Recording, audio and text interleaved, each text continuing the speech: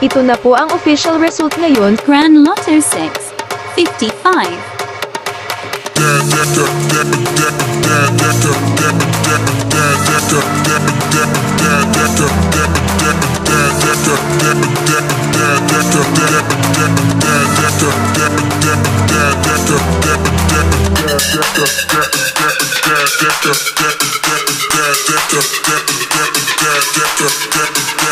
Dapper,